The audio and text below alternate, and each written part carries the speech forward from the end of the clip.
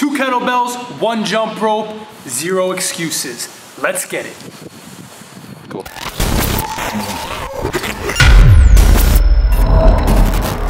Coach Zach here, and in this video, we're doing a strength and cardio routine using kettlebells and jump ropes. Now for this workout, you're gonna need two kettlebells of equal weight. And if you don't have two kettlebells of equal weight, then just go ahead and use one. I'll show you an alternative. And you're also gonna need a jump rope. Now, if you don't have a jump rope, or if you wanna get more out of your jump rope, then check out that pinned comment down below because we've put together an entire jump rope routine that will help get you to the next level. And if you get it today, you also get a free pair of jump ropes. Now, the sequence that we're gonna be doing with the kettlebells, it's gonna look like this. I'm gonna show you with two kettlebells and then one. You're gonna start in this position, you're gonna hike the kettlebells back, you're gonna do a swing, then you're gonna come up into a clean. Elbows tight, you might need to step your feet a little bit, a squat, and then step your feet in so they're under your hips. Press, back down, widen out your feet, back down into the swing, and then reset. Now that's the first level. We're obviously gonna do more than just one, but that's what it looks like, right? So it's a swing, up into the clean, squat, step your feet together, press. If you don't have two kettlebells, if you only have one, same concept, okay?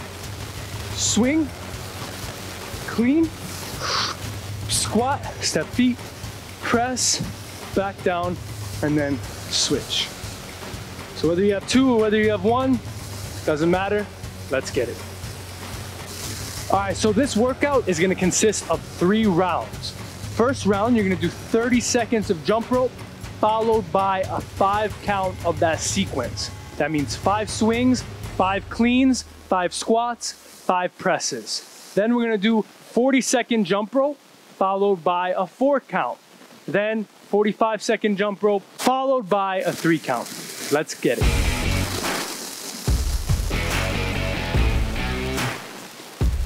Starting off, easy, remember, key with the jump rope. Keep your jumps nice and low, just enough for that rope to pass by. Movement comes at the wrists, not so much the arms. Keep breathing. Try to breathe through your nose as best you can.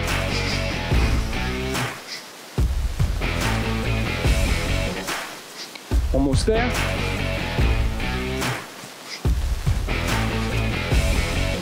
Set that jump rope down. Grab your kettlebells. Five swings. You obviously need to widen out your feet a little bit compared to a normal swing. Five cleans. If the kettlebells are banging on your forearms, then maybe you need to learn the cleans a little better.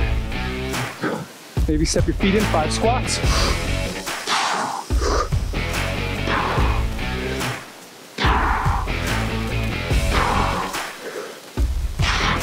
Feet on your hips, five presses.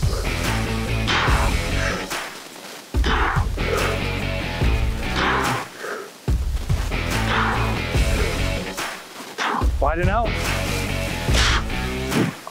Set it down. Round two.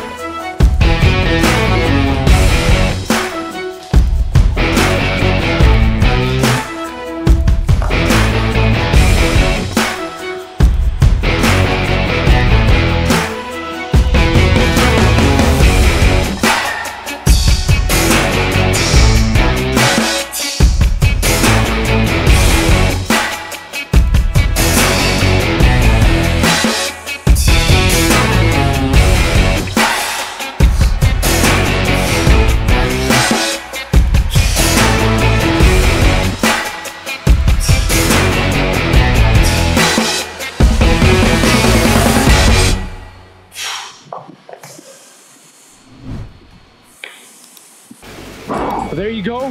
Kettlebell jump rope, strength and cardio routine. That was tough. Again, if you don't have two kettlebells, just go ahead and do one. Make sure you do both sides equally. And if you don't have a jump rope or you wanna take your jumping rope to the next level, check out that pin comment down below. We got an entire routine centered around the jump rope. And for a limited time now, you also get a free jump rope with that program. As always, I'm Coach Zach. Don't forget to like, subscribe, drop a comment, let us know how much this routine sucks in a good way, and I'll see you next time. Yeah.